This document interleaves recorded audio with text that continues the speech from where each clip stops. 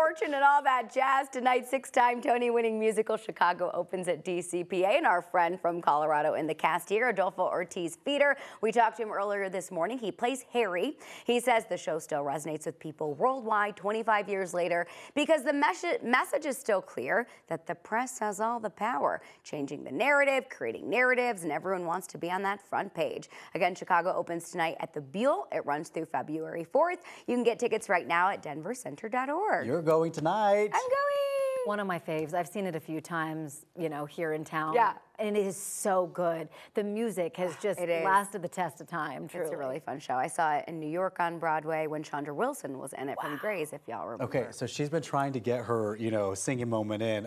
Can you give us some big jazz hands? I, I have done the Hello, jazz hands. that jazz. You got to you, Ed.